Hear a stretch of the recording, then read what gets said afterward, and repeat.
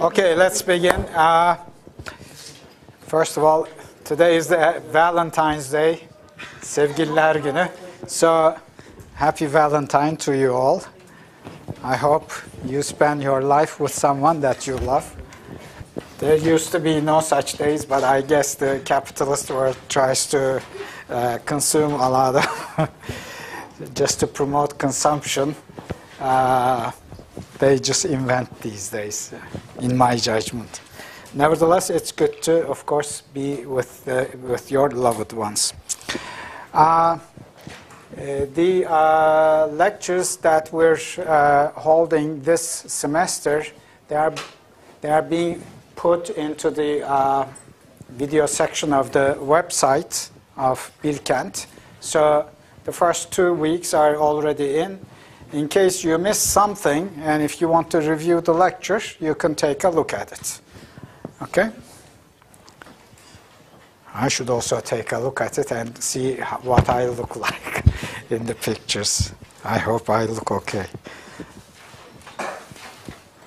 All right, uh, I guess today uh, we're going to talk about the Fourier-Motzkin elimination. That, that's something that I told you that I would talk about last week, except that we did not have enough time for that in discussion of the requirement space. The Fourier-Motzkin elim elimination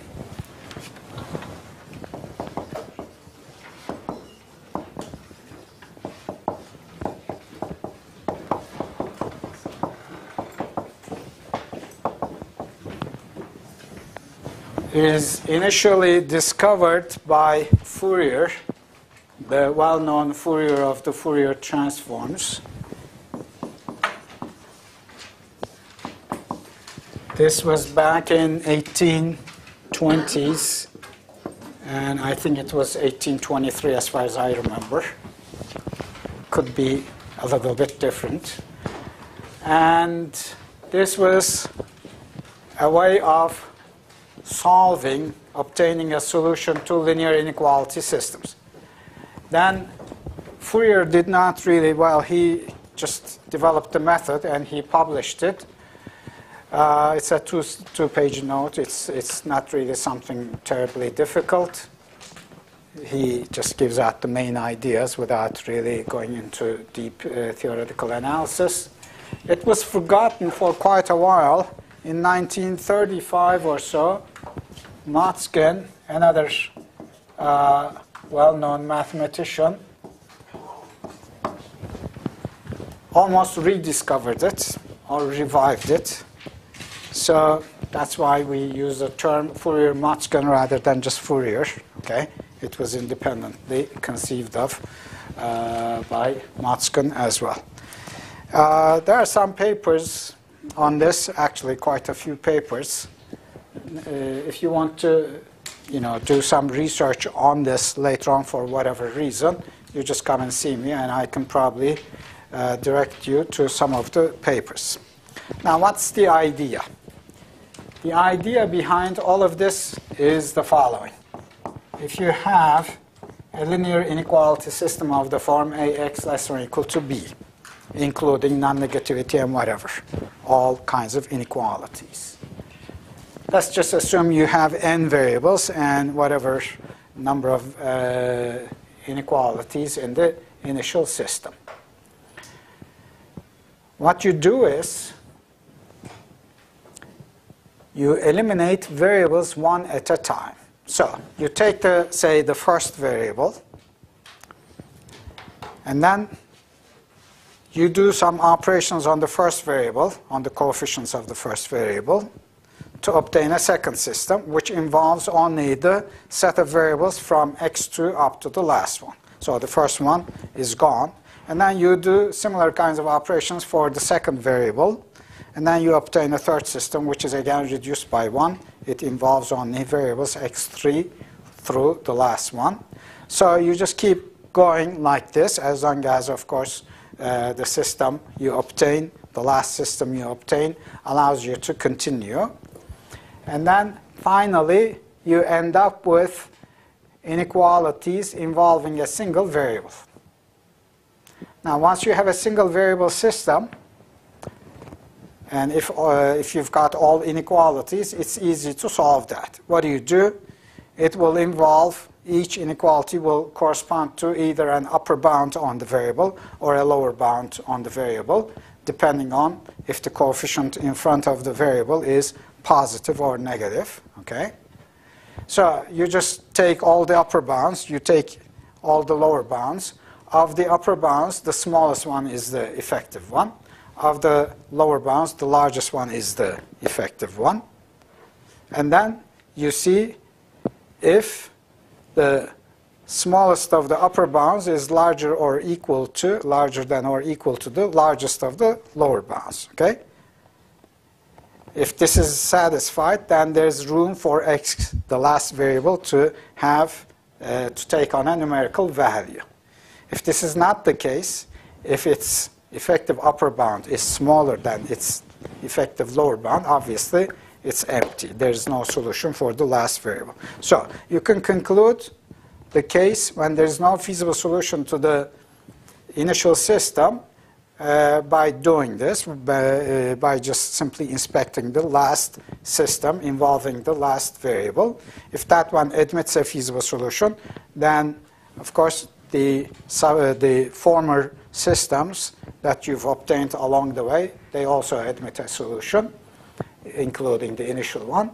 If the last one does not admit a feasible solution, depending on the uh, uh, bounds, then in that case, of course, the initial system does not admit a solution either. Okay? So that's the idea. But how do we proceed about this? I'm going to illustrate that uh, with a numerical example, but first we'll talk about the general way of attacking these things. This is, in a sense, similar in spirit to the Gaussian elimination, except that or Gauss-Jordan elimination. The Gaussian elimination is used for systems of equations. Now, equations are quite different in their nature uh, from inequality systems. When you've got equations, you can take, for example, in Gaussian elimination, you can take one variable, say the first one, express it using the first equation, for example, in terms of the remaining variables.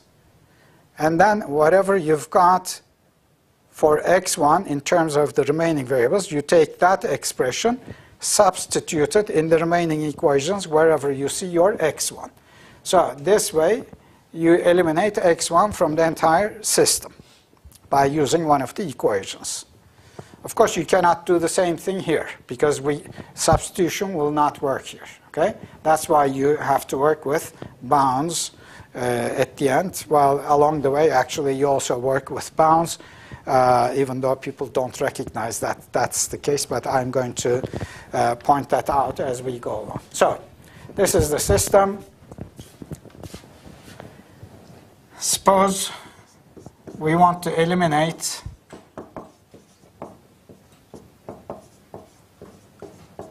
x1 from this system and we want to obtain a new system, say a prime x in the remaining variables, x prime, one of them is eliminated, less than or equal to b prime.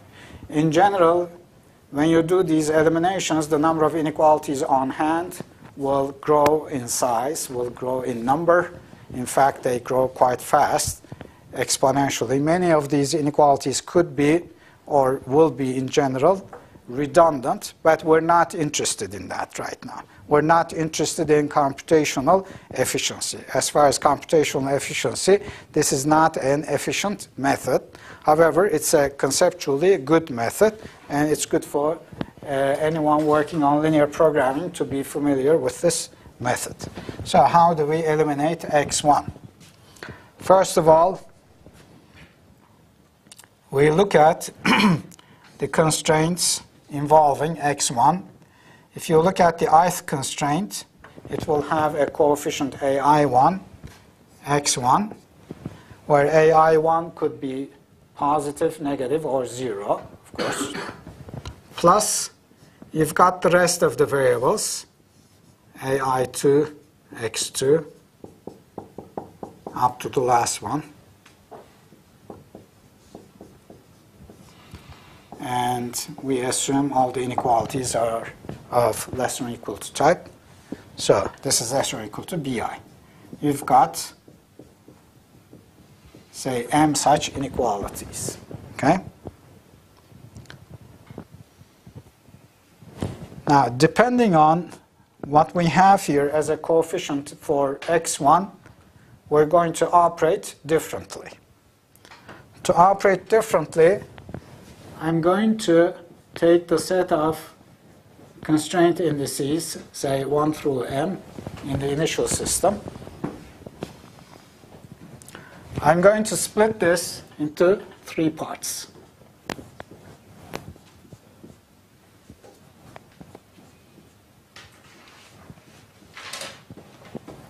The first subset, I sub plus, includes all those constraint indices where the coefficient of x1 is positive. AI1 is positive.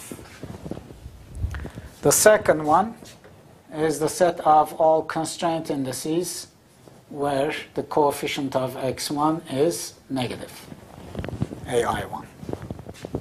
And the last one is, of course, the set of constraint indices for which AI1 is equal to 0. Okay?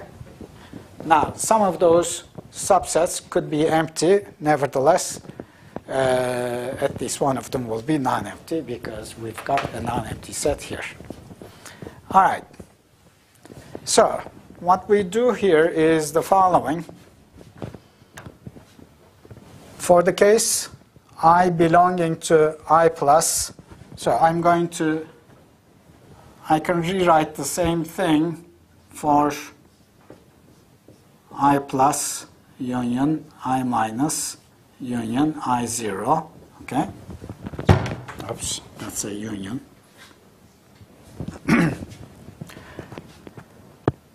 All right, let's take the case when i belongs to the plus set.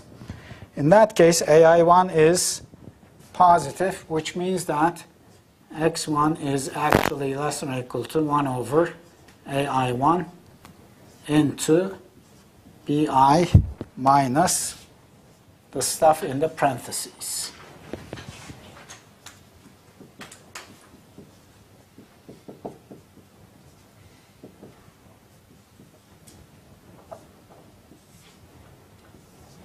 Okay?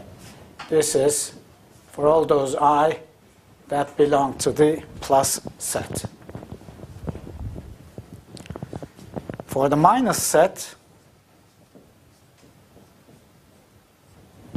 we're going to do the same thing, except that when you divide both sides of the inequality after transferring the parenthetical quantity to the right side, you're dividing by the coefficient. If the coefficient is negative, the sense of the inequality reverses. So for that reason, for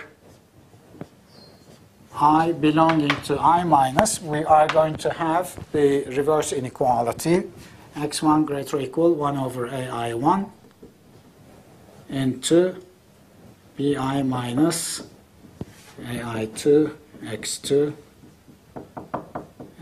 ain xn. Okay? Now, what about the rest? i belonging to i naught. In that case, of course, the coefficient is already 0. In that case, you don't do anything. You simply write ai2 x2 up to ain xn less than or equal to bi for i in i0. Okay? Now, this is not in quite the format that I want yet. Nevertheless, this is the start of what we wish to do. We want to manipulate these a little bit. x1, we want to eliminate x1. Now, just think of it this way. If there's a feasible solution to the initial system, then there must be a choice of the variables x2 through xn such that all of these bounds are satisfied as well as all of the lower bounds are satisfied, which means that each upper bound here should be at least as large as each lower bound here. Otherwise, there will be no such feasible solution. Okay? So, you want to require that each upper bound coming from the plus set be greater or equal each lower bound coming from the minus set. If that does not make sense right now, you should go home and study until it makes sense to you. Otherwise, you know, things will be different because that's the conceptual part. Uh, the rest is just mechanical, you know, technical stuff. So all we do is we take this system and we require that each lower bound 1 over AI1 bi minus ai2 x2 up to ain xn b uh, that's the upper bound so let me take this as the lower bound let's take the other one as the upper bound a k1 let's change the index from i to k because we're going to consider each pair of upper and lower bounds, okay? AK1 B sub k minus AK2 X2 up to the last one, AKN XN. All right, you require this for each I in i minus and each k in i plus. Each upper bound being greater or equal each lower bound. Plus, of course, you should not forget this. You should also include that AI2, X2, AI n, xn, less or equal bi for i belonging to i naught. Okay? So this system is the same as that system with x1 eliminated. All right. Now you need to simplify this because this looks complicated with all these, you know, 1 over AIs. So let's do that. When you simplify this, all you have to do is multiply both sides by the product of AI1 and AK1 so that you get rid of the fractional look here, okay? And so what you would get it, and then you put the constants on the right side and take the variables on the left side, and that's what you got. So you will get AK1 times AI2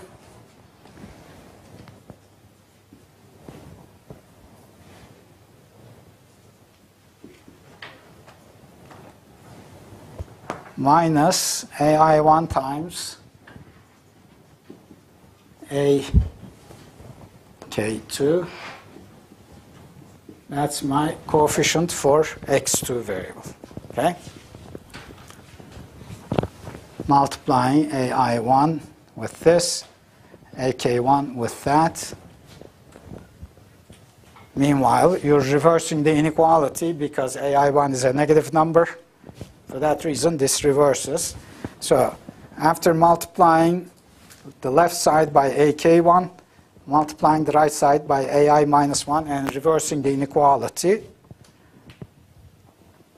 uh, I want to have everything in less than or equal to form. So the reversal of the inequality tells me that I want to keep AI1 times AK2 x2 in its proper or in, it, uh, in its uh, uh, present sign, whereas this one, AK1 times AI2, will be negative, but you take it to the right side because you want everything to be, you know, variables to be on this side, so it becomes positive. So in case you don't follow that, that's not really too important. You can work it out at home, okay? I kind of do these things uh, in my head. At least I try to. Sometimes it's easy to make a mistake, so if I make a mistake, you point that out to me. Okay? All right, that's the coefficient for x2. You do the same thing for x3, so on and so forth, and the last one. Now, what do I have here? I'm going to have ak1 x in minus A I. What is that? No. Uh, AI 1, yes, times A K N. Right, okay. Thank you for helping me out. Looks too complicated to me sometimes when I look at it. If I look at things from a distance, it's easier to see. but If you look at them right here, it's hard, you know, sometimes. I don't know why. There's a mistake? Let me just check. It will be AI1 times AKN. AI1 times AKN, that's correct, with the negative sign. And then AK1 times AIN, AK1 times AIN. This looks correct.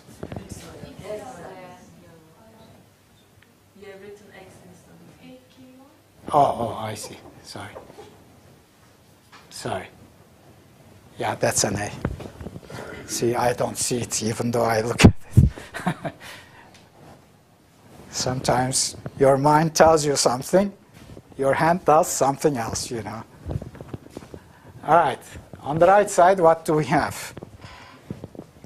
We have AK1 times BI.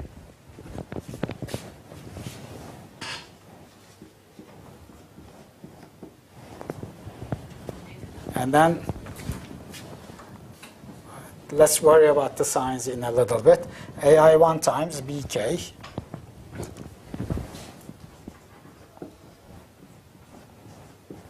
Now, I had the reversal of the inequality, so this constant will go to the left side, so I want a negative there. Okay? The other one just stays where it is. So, this is the set of inequalities for everything in I minus, I in I minus, and K in I plus. Plus AI2, X2 up to AIN, XN less than or equal to BI for I in I naught. All right, so I'm not going to go any further. You simply take these coefficients, define them to be whatever you want to do. For example, the coefficient of x2 in the ith equation, just make it say bar, so it's different now. Uh, you can define this to be similarly AIN. And you can just give a new name to this, call it, say, uh, so this will be some uh, equation defined by i and k combination. So you might want to call it BIK, or you may just renumber these pairs from what 1 up to whatever, R, and then just give the name B sub R var to it. Okay? So let's just do that. Maybe that's easier. Okay? Because the combination IK corresponds to a single index R in the new system. Okay? By renumbering. All right. And then you apply the same thing to the second variable, so on and so on. You just keep going until, as I said, you finally obtain a inequality system in a single variable. Once you've, okay, let's return that. So you keep going until you finally obtain alpha 1, or yeah, alpha 1 xn. Let's suppose xn is the last variable that survived. It's got, say, t inequalities of the form, whatever you want to call them. Let's call them beta 1 up to beta n, uh, beta t, sorry. Okay, t inequalities at the end.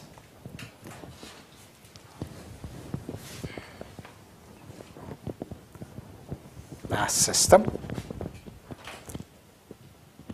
Now, over here, you partition the index set, say j, from 1 to t, into, again, three parts. j sub plus, j sub minus, j sub 0. And through that, if you rewrite the inequality system, what do you get? You get xn less than or equal to beta i over alpha i for i in i plus. Okay? That's the plus set. The, the definitions are similar, so I did not write them down. But this is the set of i going from 1 to t such that alpha i is positive. The coefficient is positive. This is the set of i for which alpha i is less than 0, and this last one is i such that alpha i is 0. So the system we've got here through these index partitions can be rewritten in the following way.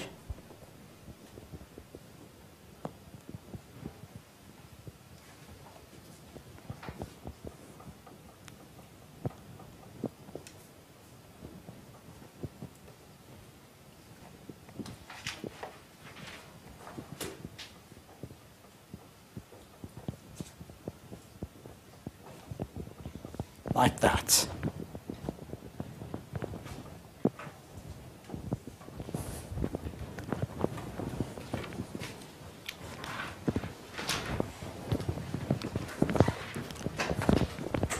What is the signal for inconsistency here? The first signal.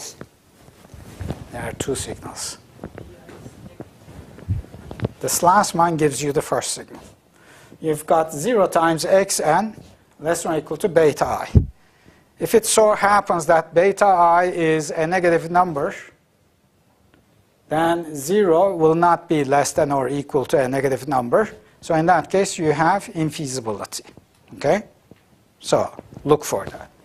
If it so happens that bi is non-negative for every i belonging to i naught, we're okay, okay as far as that part is concerned because regardless of what value you assign to xn, 0 will be less than or equal to bi in that, beta i in that case. Okay? So, you might want to take a note of that.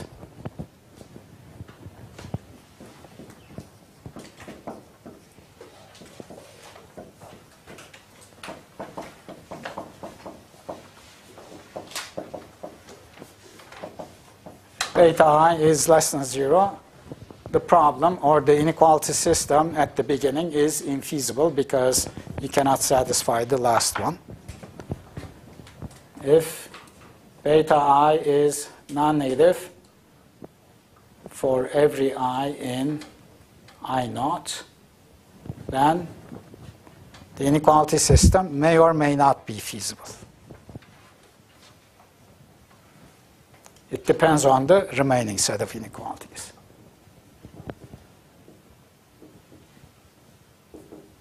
So in the latter case, we focus on the last system. It will be feasible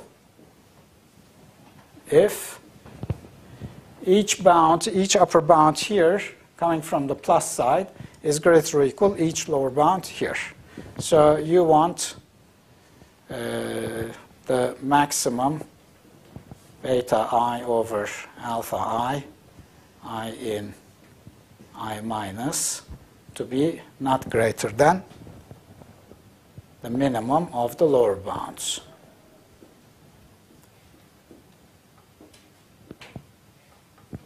That's not zero. What is this? This is i minus. Sorry, change that.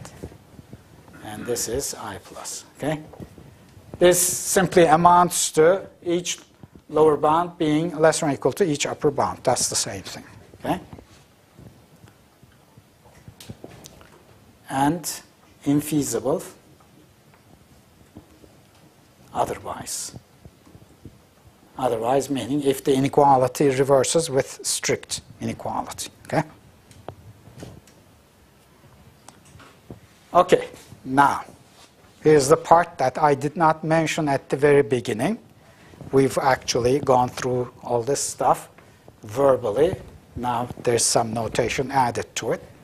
Now, what do you do? Suppose you've you concluded that the uh, beta i are greater or equal zero for i naught in uh, i in i naught, and this maximum lower bound is less than or equal to the minimum upper bound. So there's a feasible solution. What do you do after this? You just recognize that there's a feasible solution, but what is the solution? That's the question. The, uh, and that can be easily resolved by doing the following. If I give a name to this, call this, for example, the minimum here, let's call it, say, upper bound u. Okay, it's just a constant. And let's give a name to this, call it the lower bound, say L, whatever you want to call it. Okay? So we have the following situation. xn is between some upper bound u and some lower bound L, where u is greater or equal L. And the remaining constraints don't make any difference, so I don't really deal with them at this point. Okay? Why don't they make any difference? Because whatever I, value I assign to xn, 0 times that will give you 0. And 0 is less than or equal to beta i already by assumption. Okay? So we've got this system. That whole thing reduces to that in the feasible case. What do you do? This is just an interval defined by the numbers L and U. It's not an open, it's, a, a, it's not an empty interval. So you just pick a value for that, for, uh, for xn in that interval. So you pick a value.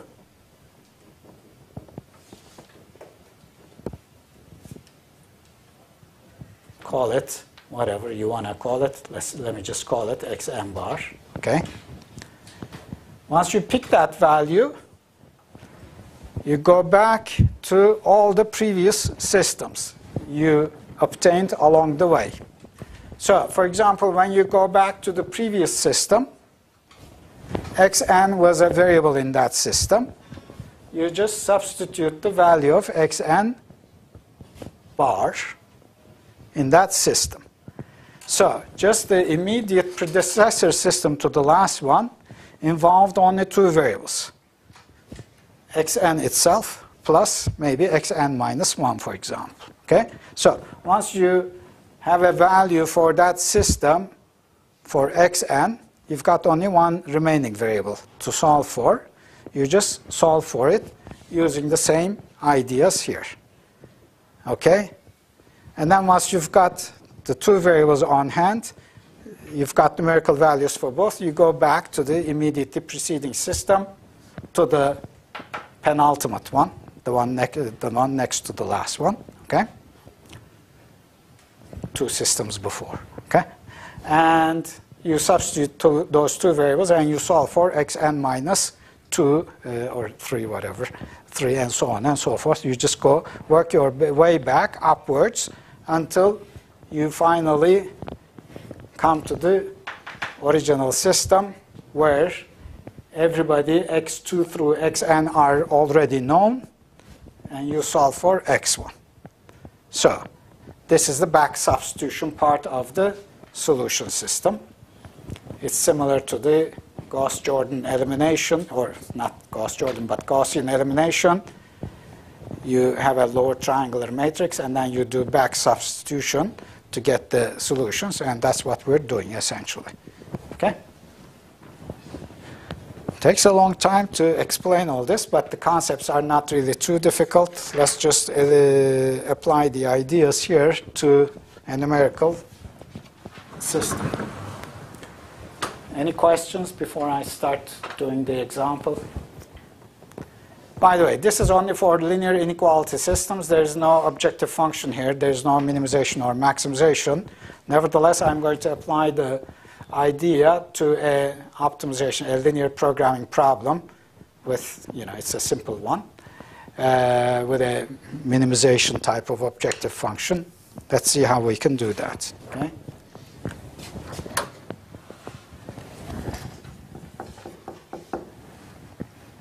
So suppose we want to minimize minus x1 minus 3x2 subject to x1 plus x2 less than or equal to 6 minus x1 plus 2x2 less than or equal to 8 and x1 and x2 greater or equal 0.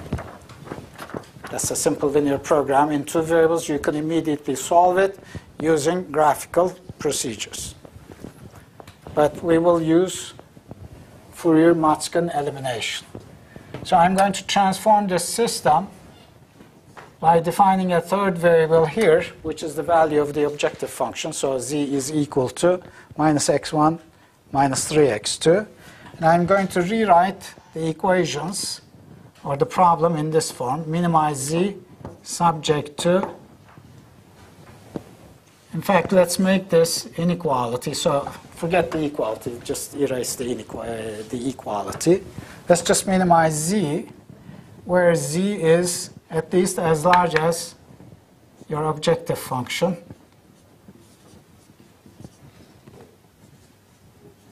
Like that, okay? Subject to these constraints.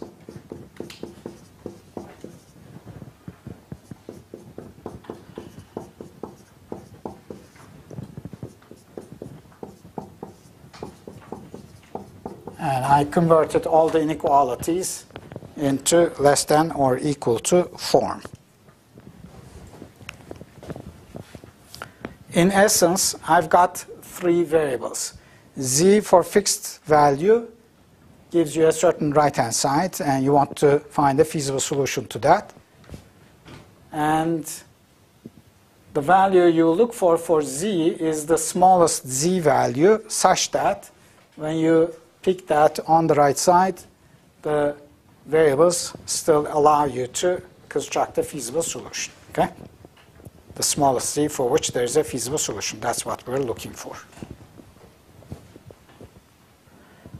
Okay.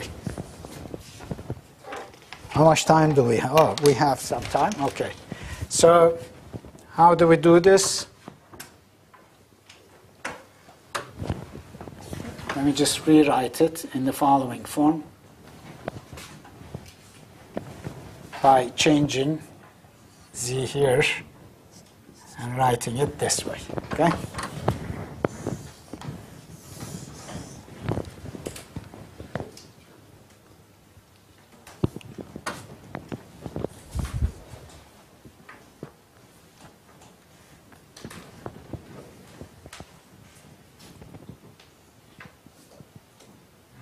I don't know if that's the best way because in this case I cannot really eliminate z. You can see that.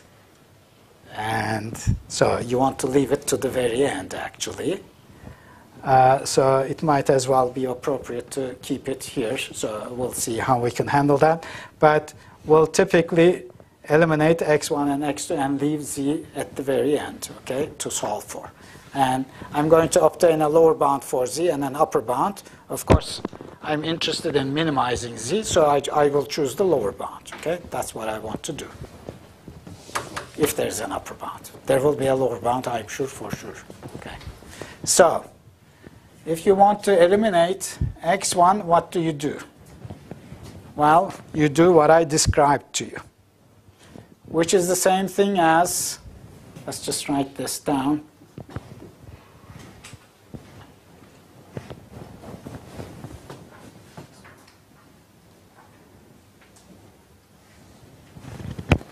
First one will give you minus x1. Let me put this on the right side, otherwise I get confused. Uh, okay, so the right side will be z minus plus 3x2. And then I'm going to divide both sides by minus 1. So x1 will be left here, and x1 will be greater or equal 1 over minus 1, so it will be minus and minus. The first inequality is like that. Do you feel too hot here? Hmm? Is it too warm? Maybe we should open a window, please. Yeah, because some people seem to be sort of, you know, not breathing sufficiently. I can feel that. Huh? Okay. The second one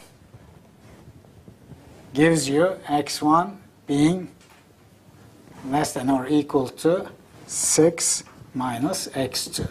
Okay? The third one, x1 being greater or equal, what is it? Uh, minus, so minus 8 minus 2 x2 that's it right ah because it's on the right side yes it's a plus uh-huh. this is difficult uh, difficult in uh, actually implementing the method I do it in a different way by simply computing these coefficients that I talked about. But before that, I just want to illustrate one thing here. The last one is x1 greater or equals 0.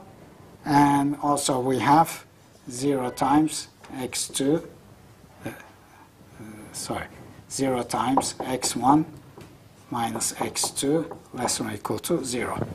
This is the last one, okay?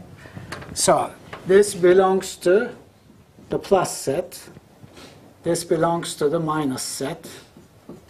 That one belongs to the plus set, plus, and that one belongs to the zero sets. Okay? Okay, you require each upper bound to be greater equal each lower bound. So what do you require? You take the first lower uh, upper bound, no, first lower bound, minus z minus 3x2. And there's only one upper bound here.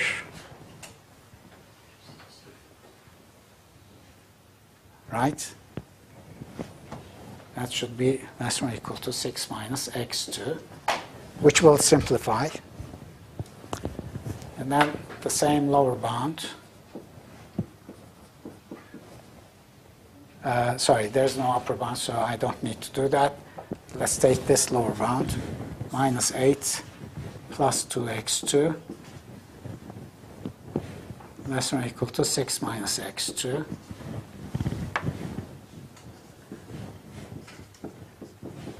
And this one is a lower bound of 0, so this should be less than or equal to the upper, uh, upper bound. And finally, we've got this. So I paired up each of these lower bounds with the single upper bound here. That's all I did. Okay? Now, what does this simplify into? Minus 2x2 We've got 6 on the left, on the right, 6 plus z. That's what you've got. This one, that becomes a 3x2. And we've got 6 plus 8 is 14. That's it. This one, x2 less than or equal to 6. And finally, minus x2 less than or equal to 0. So I've got, this is my system number 2. System number 1. Where's my system number 1? This is my number 1 system. This is my number 2.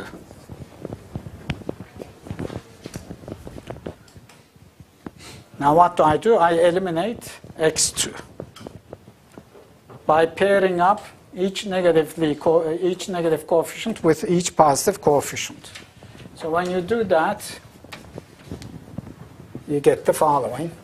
First of all, from the first one, we get x2 greater or equal uh, minus 3 minus 1 third z, right? If I make a mistake, please point, point it out so we'll make the correction. 1 over 2. See? I knew I'll, I, I would make a mistake with numbers. The second one, x2 is less than or equal to 14 thirds. The next one is x2 is less than or equal to 6. The next one is minus x2 less, well, x2 greater or equal 0. So I'm going to pair up the lower and upper bounds. And when you do that, what do you get? You should pair up this lower bound, minus 3 minus 1 half z, with this bound. So this is the first one we're doing. That's one equal to 14 thirds. Okay? The next one is, there's another lower bound here, which is 0. So let's pair that up with that one. That simply tells me 0 is less than or equal to 14 thirds, which is fine. It's automatic. Well, it's trivially true. Then we take the next lower bound, which is 0. So I go 0 on the left and sorry we take uh, still how do we do this okay okay I'm going to use this now so first we take this one let's just do that one minus 3 minus 1 half z less than or equal to 6 and finally this one 0 less than or equal to 6 these two you may forget about them because they are trivially, trivially satisfied. This one gives you, what does it give you if you leave z alone? I don't know, multiply by 3 or multiply by 2. What is this? It's going to be z greater or equal 14 thirds plus 3 and then I'm going to divide by minus 1 half, which means I am multiplying by minus 2. And then I reverse the inequality. Okay? This one, nothing. This one, what does it give me? Gives me z being greater or equal 6 plus 3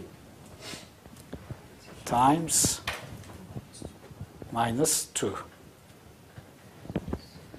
and z on the left. So z has two lower bounds. Which one is the larger one here? I don't know. I have no idea. They're both negative. This one is how much? 14 thirds plus 9 thirds, that's 23 thirds times 2 minus 6 thirds, 46.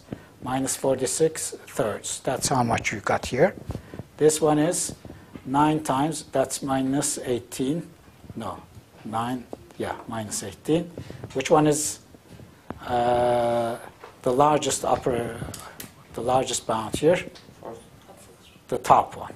So the optimal value for z is minus 46 thirds.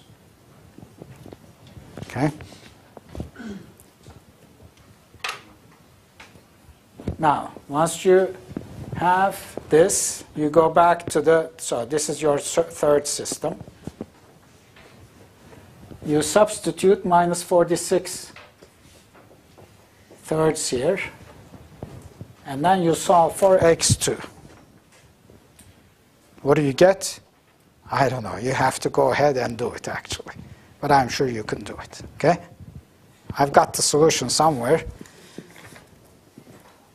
I've got x2 equals 14 thirds and x1 equals 4 thirds. So when you solve, you get x2 equals 14 thirds, x1 equals 4 thirds. And these will be uniquely defined in the inequalities that they are involved in. Okay? You might want to carry that out. All right, let's take a 10 minute break now. So you can start breathing. Some of you seem to be a little bit out of shape here. Huh? system of the form ax less than or equal to b, including non-negativity and whatever, all kinds of inequalities. Let's just assume you have n variables and whatever number of uh, inequalities in the initial system. What you do is you eliminate variables one at a time. So you take the, say, the first variable, and then you do some operations on the first variable, on the coefficients of the first variable, to obtain a second system, which involves only the set of variables from x2 up to the last one. So the first one is gone. And then you do similar kinds of operations for the second variable. And then you obtain a third system, which is again reduced by 1. It involves only variables x3 through the last one. So you just keep going like this, as long as, of course, uh, the system you obtain, the last system you obtain, allows you to continue. And then finally, you end up with inequalities involving a single variable. Now, once you have a single variable system, and if, uh, if you've got all inequalities, it's easy to solve that. What do you do? It will involve, each inequality will correspond to either an upper bound on the variable or a lower bound on the variable, depending on if the coefficient in front of the variable is positive or negative, okay? So you just take all the upper bounds, you take all the lower bounds. Of the upper bounds, the smallest one is the effective one. Of the lower bounds, the largest one is the effective one. And then you see if the smallest of the upper bounds is larger or equal to, larger than or equal to the largest of the lower bounds, okay?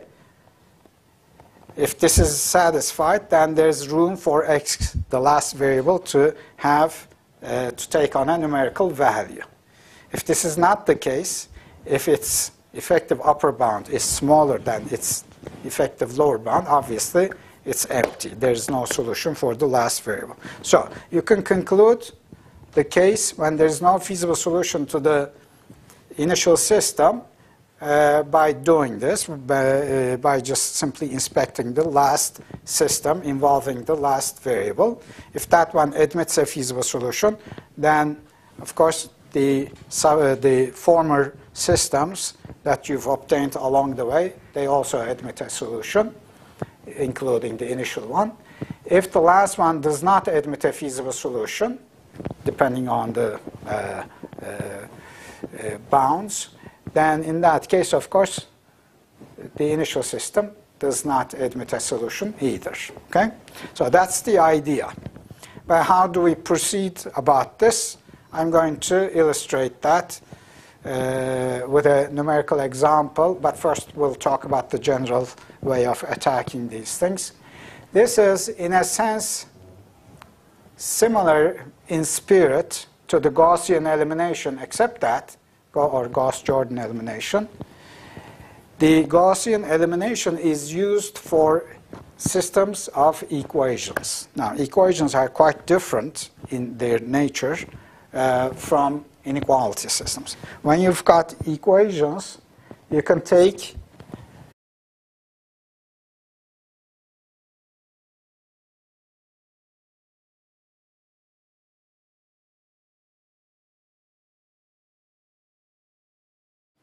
Okay, let's begin. Uh, first of all, today is the Valentine's Day, Sevgililer Günü.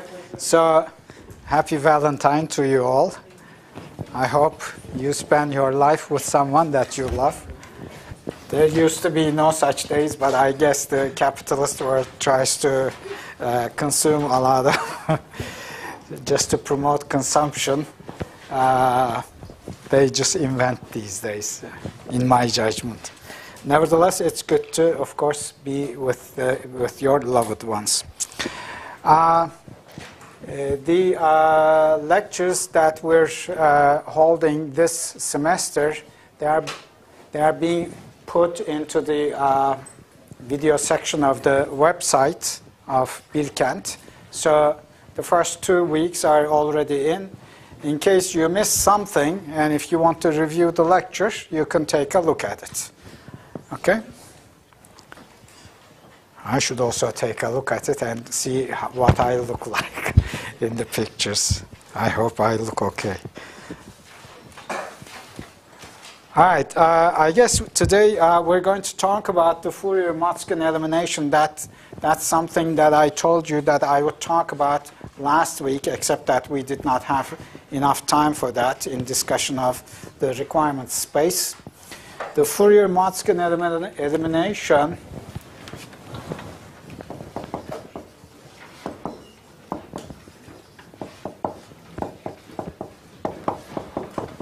For example, in Gaussian elimination, you can take one variable, say the first one, express it using the first equation, for example, in terms of the remaining variables.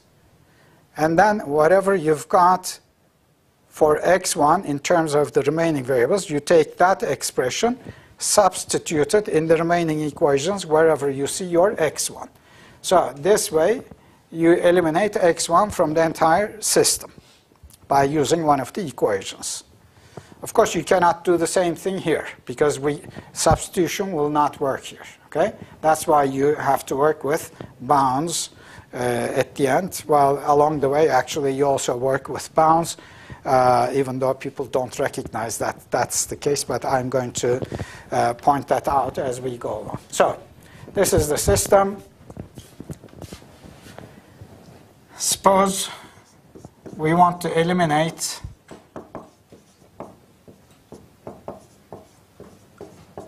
x1 from this system and we want to obtain a new system, say a prime x in the remaining variables, x prime, one of them is eliminated, less than or equal to b prime.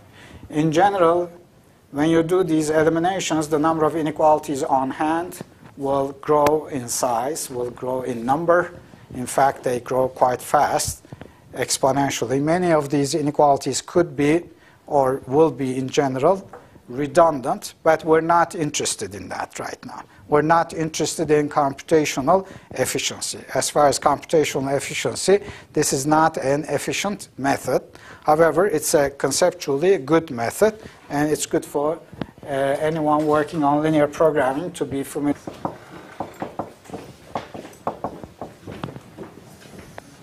is initially discovered by Fourier, the well-known Fourier of the Fourier transforms. This was back in 1820s, and I think it was 1823 as far as I remember. Could be a little bit different. And this was a way of solving, obtaining a solution to linear inequality systems. Then Fourier did not really, well, he just developed the method and he published it. Uh, it's a two, two-page note. It's, it's not really something terribly difficult. He just gives out the main ideas without really going into deep uh, theoretical analysis. It was forgotten for quite a while. In 1935 or so, Motzkin, another uh, well-known mathematician, almost rediscovered it or revived it. So that's why we use the term Fourier-Motzkin rather than just Fourier. Okay, it was independently conceived of uh, by Motzkin as well. Uh, there are some papers on this, actually quite a few papers. Uh, if you want to, you know, do some research on this later on for whatever reason, you just come and see me, and I can probably uh, direct you to some of the papers. Now, what's the idea? The idea behind all of this is the following. If you have a linear inequality